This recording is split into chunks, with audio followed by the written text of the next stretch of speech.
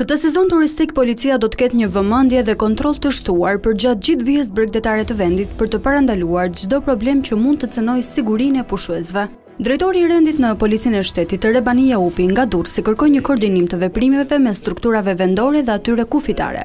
Ndër të tjera, ai u bëri apel të gjithë qytetarëve që të kenë kujdes në respektimin e rregullave të qarkullimit përgjatë gjithë sezonit për shkak të fluksit të madh të turistëve. Bëj thirrje të gjithë qytetarëve, gjithë përdoruesit të rrugëve, që të jenë shumë korrektë me zbatimin e rregullave të qarkullimit rrugor në të gjitha akset.